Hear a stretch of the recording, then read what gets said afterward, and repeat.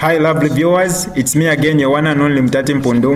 Welcome to my YouTube channel. If this is your first time on my channel, kindly subscribe to my YouTube channel by hitting the red subscribe button down below and turn the bell icon to join the notification squad. Don't forget to like, share and leave a comment. Tell me what you think about this video in the comment section below. I'll be super glad to hear from you lovely viewers. Guys, let's talk about it. Okay, let's let's take a few moments and talk about it. Uh, before I get into today's verbal dissertation, let me just mention, as many of you know, last night uh, Ambassador Emmanuel Mwamba was detained, was arrested and detained, and the information we have so far, this is uh, Thursday. This is five minutes to 9 a.m. on a Thursday morning. What is the date today? Uh, it's Thursday, the 15th of June. The information we have is that he was apprehended at a car wash. Now, it's, it's very convenient, as all political parties do. It's very convenient to create a narrative around uh, a story that is unconfirmed. It's very easy to say, oh, he was beaten, he was bludgeoned, he was all of that. Of course, I'm not saying that that's not impossible. It is possible. It's happened in the past and it's, it's plausible, but until we have hard evidence, you know, short of someone recording the beating uh, or short of someone narrating the events as they unfolded, short of that, everything is innuendo, hearsay, and gossip. All we know is that he has been apprehended, full stop.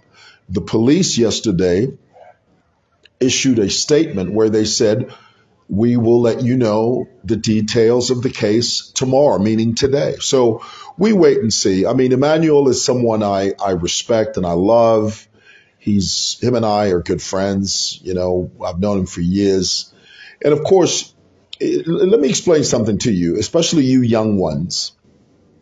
You see, there's something called the six degrees of separation. When I was a kid, I would hear that phrase and it would confuse me. I'd say, what is the six degrees of separation? Well, basically the premise of the six degrees of separation is that you know someone that knows someone that knows someone that knows me. There are six degrees of separation between us. And I said all of that to say this. Eh, when you get to my age, I'm 54, I keep saying this. Maybe I should stop saying my age. What do you think? Because, you know, it gets to a place where every, almost every one of my lives, I talk about the age thing comes in. I don't think that we should always talk about that. Everybody knows how old I am. But, but, but my point is when you get to my age, you, you basically know everybody.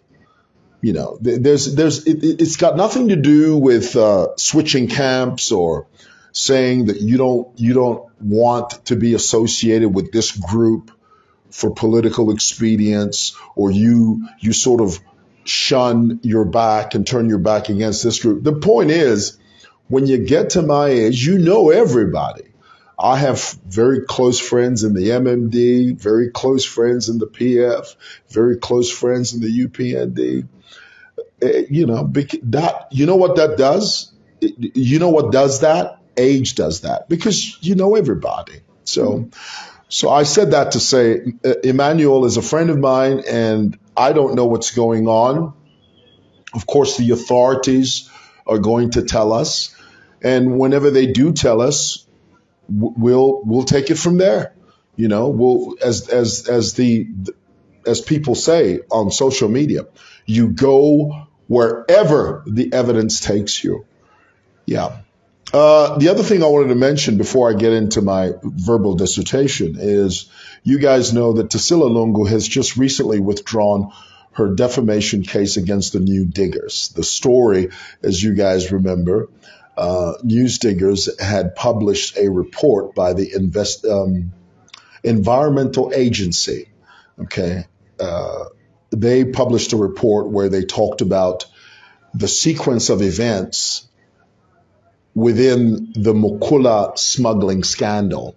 And there were several people that were mentioned in that report. Tasila Lungu was there, the president was there, Jean Kapata was there, uh, uh, Honorable Given Lubinda was there.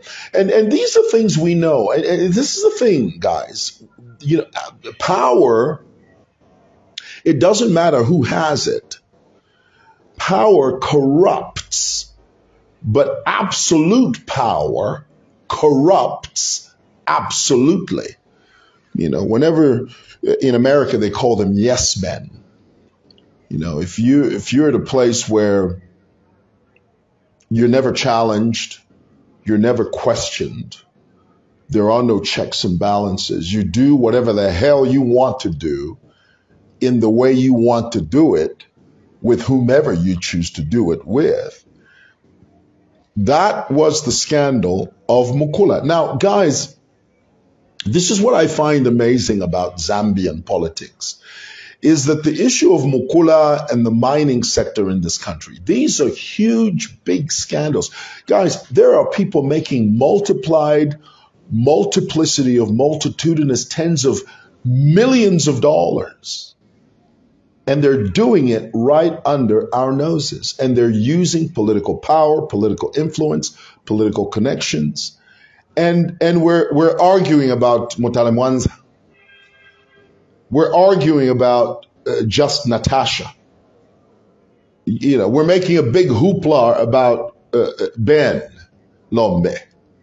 We're, we're we're talking about you know all kinds of stuff, and yet the very soul of our nation is what we sh- is what should be front and center. Guys, here's the thing, and I know you've heard this, but, but it bears repeating.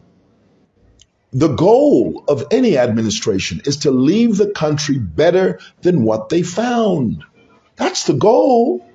It's never, or at least it should never be about self aggrandizement. It should never be about enrichment. This is why moving forward, no pun intended, we need to move into the stratosphere of not only self reliance, but we need to begin to elect officials that are self sustaining. I mean, officials that that they don't go in into office poor as dirt. Okay? The way it used to be, you know, you want to be president, but you don't have anything. You don't have anything to your name. You don't have any real estate. You don't have any viable businesses. You don't do anything worth a damn. And then you wake up one morning and say, oh, I don't want to be president. Such a person should be nowhere near the presidency. Why? So we that's what we need to move into. So anyway, I thought I'd, I'd share that with you. Let's talk. What are we talking about? We're talking about I wanted to come up on here and, and give you an update on the NPF, the notorious Patriotic Front thugs that used to control City Market, Lumumba Road, um, Kalusha Road, and Simon Mwewa Lane. This jurisdiction, you see, let, let me explain something. During the NPF, the notorious Patriotic Front, the city was divided in zones. Okay, there were zones, not not not wards. Okay, not uh, uh, uh, sections. They were zones, zones that were determined unofficially by cadres. Cadres would decide, okay, ukufuma paria, ukufika hapa. Ukufuma paria, ukufika hapa ino nchende yesu. Starting from there up to here this is our territory. We control everything that happens in our territory. And so they took it upon themselves to name the territory. So in this area we had muke who is very well documented on my page. I used to have run ins with Muke almost every day. And this is the thing that I didn't like about Kadas. Uh, you know, Kadas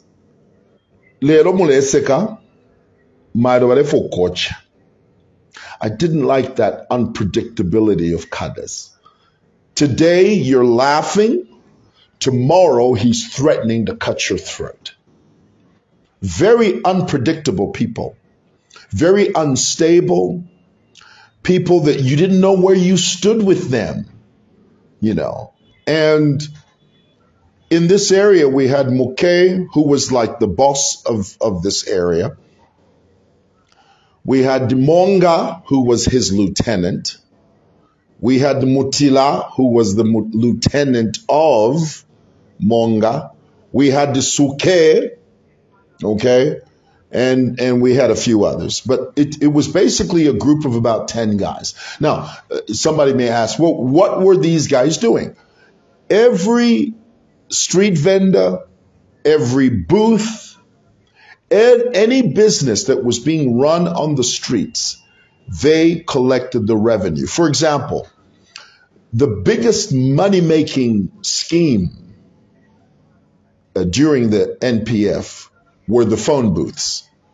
This is how it used to work. If you decided, if you, and I know this because I'm from this area, I, I've, I've worked in this spot for 33 years. Everybody you see here, inebali nsanga, shabasangideyo.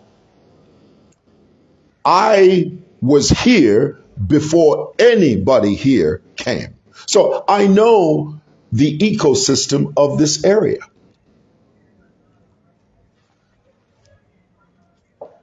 I know the mechanics of this territory firsthand.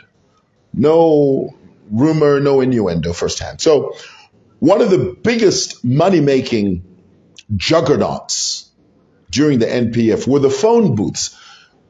Hear me when I tell you every single solitary kwacha that was generated from phone booths was being generated and channeled to kadas. Of course, there was the initial fee that you paid to the council, which was, I think it's uh, a and ninety-nine kwacha.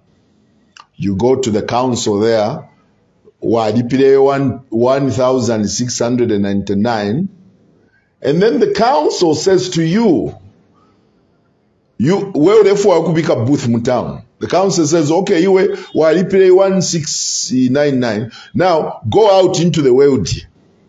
kabiye muchialo.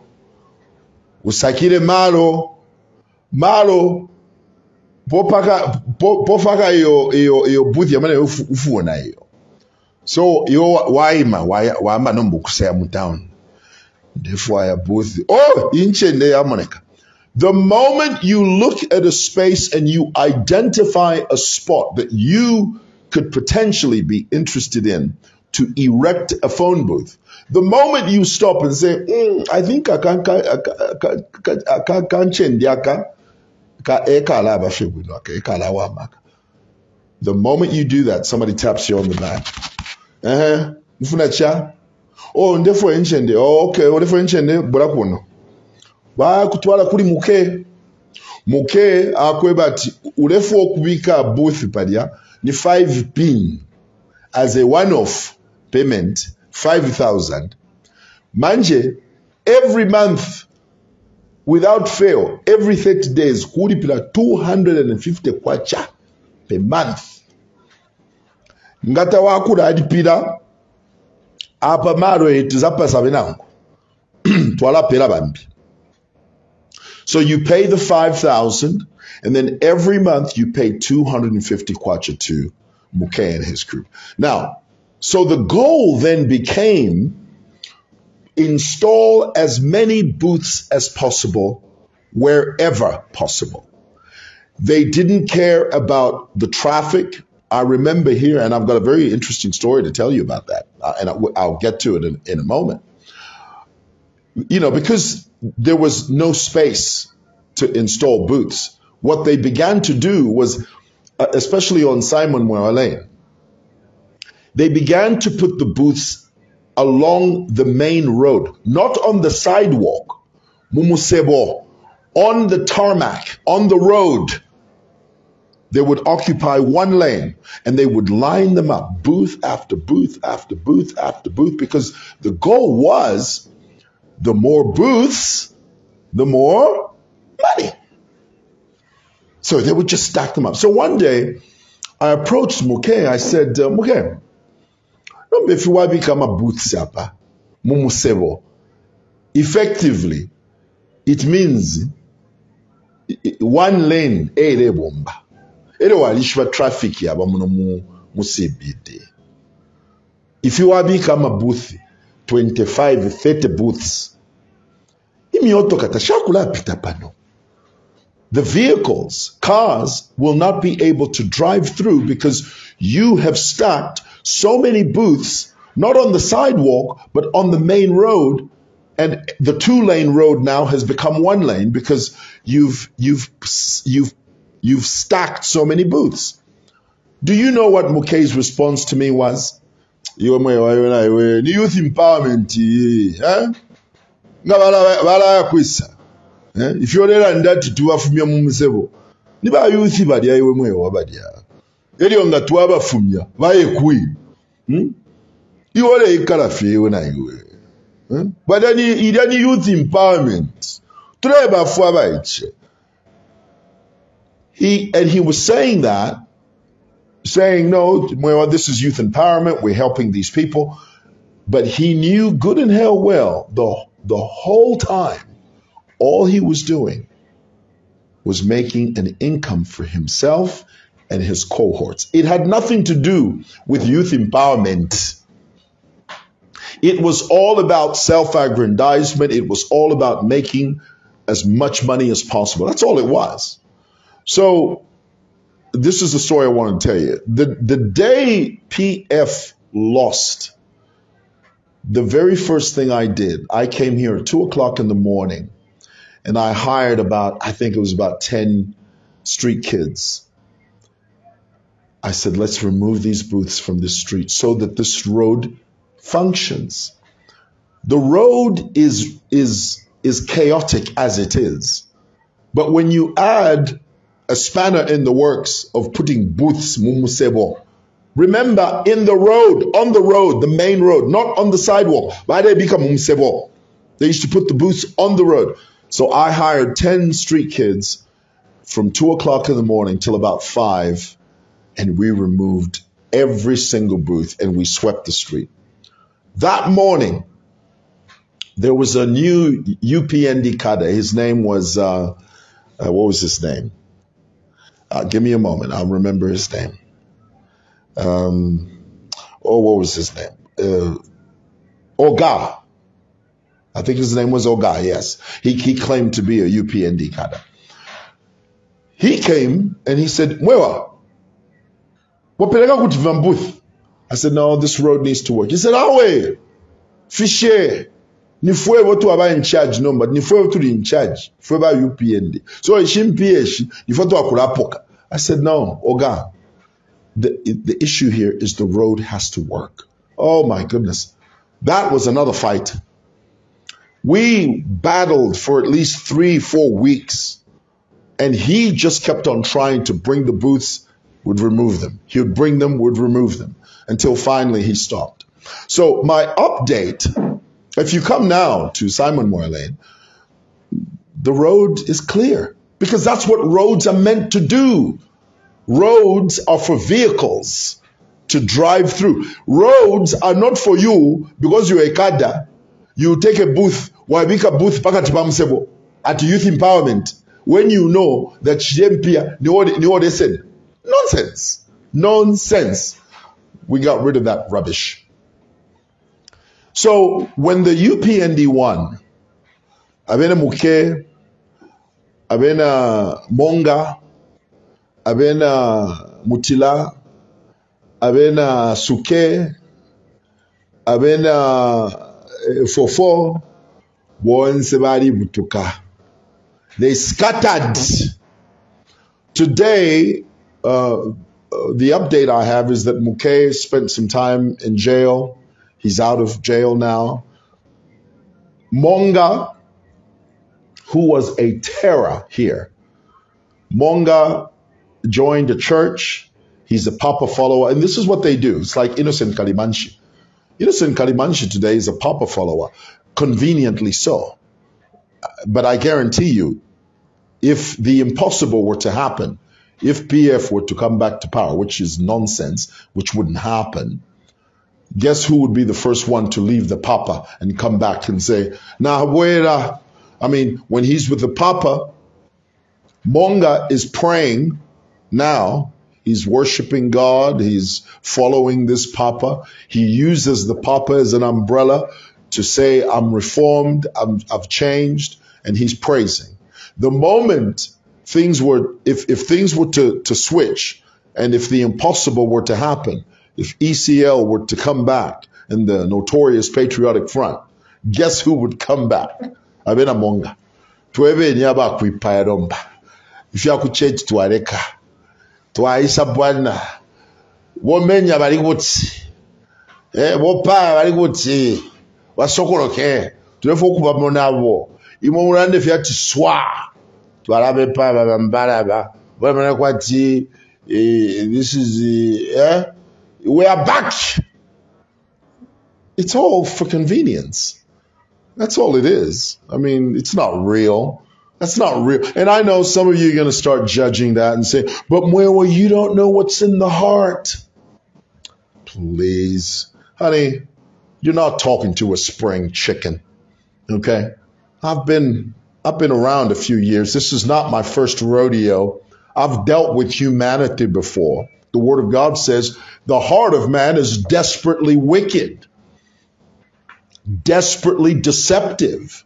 So fyonse ffe mule munati bakalimanshi baliya ku church fyabufi monga aba church fyabufi it's all for convenience. There is no change of heart there. There is no transformation there. There is no road of damascus experience there. It's all fluff it's what it is i know what i'm talking about so so here it is now let me also explain innocent kalimanshi's role in the ECL administration. People don't realize how how much of a role Innocent Kalimanshi played in uh, Mr. Edgar Lungu's ascension to the presidency. Let me say that again. That's very important. People downplay, people don't realize the pivotal role that Innocent Kalimanshi played in the ascension of Edgar Lungu to, to the presidency. He was a very key component. And let me explain. And, and, this is something that all political parties do in Zambia. And, and what I want to see, I want to see this change. I do. In my lifetime, I want to be able to see a political party go to a convention and multiple contenders are present fighting for their case arguing their point, saying, I'm the best candidate to lead this party. Unfortunately, in Zambia, we don't have that. Once any unopposed. Balatina. Mwenso. kabulinga wakulya ku convention kulya eri wasuminisha abanobe kuti ndimi bakuteya kumbali balekwe bati niwebo wafika ku convention kulya fyachinja fyafwampuka wapapa n'okupapa washapa wa wa wa wa wa wa wa wa washa na na wasama washala na wasama hmm? Oletwe why panjira bakuteya so once about tino kuteya they get they they fear being teared. Eh? Balatino ukubateya so because of that they hedge themselves. They make sure that no one opposes them ku convention. So that bayakulya to unopposed they camouflaged uh, the word unopposed they camouflage it and they present it to you as he is the most popular. People don't want anyone else except him. That's nonsense. That's that's not how democracy works. Democracy works several contenders and then the people choose. So ba ecl lilyabaire ku convention it was Innocent Kalimanshi, abena Innocent, abena uh, uh, Black Apple, whatever guys, varia. They stopped and barred anyone else from entering the premises. They beat people up within an inch of their lives. They made sure that nobody penetrated the territory where the convention was taking place. So that by Edgar Lungu alone could emerge and be announced as sole candidate on the PF ticket. That's how it worked. Now, during the NPF, what I'm saying to you now uh, would have attracted a violent reaction. Violent. I mean, it's not in my interest to attract unnecessary violent reactions. I mean, who, who needs that aggravation? We're living in, in the 20s, guys. You know, this is not 1945. And, you know, you weigh yourself. You weigh, if I say this, valanjipaya, valangochia, pa Facebook, you no, you are just afraid. You are not brave. If you're feeling it's okay. But at least I get to go home and be with my kids and my wife. At least I could get, I still get to have a, a an office that I can operate in and a place that I can call my own and nobody can disenfranchise me. That's my choice. But, but if you think that no, why didn't you say that during those days? Isn't it obvious why I didn't say it during those days? Listen, the most dangerous person in the world is a person that has nothing to lose. Those are dangerous people. And, and there are people like that. We can't always be all the same. We're not cookie cut, you know. The word of God says precept by precept, here a little, there a little. Okay? There, are people that do what you can't do. I do certain things that other people can't do. You know, we're, we're all part of the ecosystem. So my point is this. Innocent Kalimanshi's role in Edgar Lungu's ascension to the presidency has always been downplayed because they used intimidation and violence to, to, to get to where they, they, they were. and uh, we don't ever want to get to that place ever again. Those were very dark days. Some of you downplay it. Some of you, you know, you look back in retrospect and you think it was child's play. We were at a crossroads as a nation. We were. I mean, things were really bleak. Had the NPF won, and I said this, I posted this earlier, and, and I'll say it again. Had the NPF won, the Notorious Patriotic Front, had they won, no, no, sorry, had they managed to rig the elections, because that's what it was. It wasn't about winning, it was about rigging the elections. And they attempted to do it. They tried to sabotage the internet. To this day, no one has ever conclusively talked about how the NPF attempted to sabotage the internet and how Zambians, for the first time, knew and discovered this thing called VPN. Nobody talks about that. Nobody. But that was a that was an inflection point in the electoral process of this country. That was a very, very important inflection point where voter meets candidate, and in that moment they decide. They say, no, no, you're not going to take it from us this time. You can do everything you want. You can create all the machinations you desire. Not this time. Not today. It's not going to happen. And the NPF tried everything.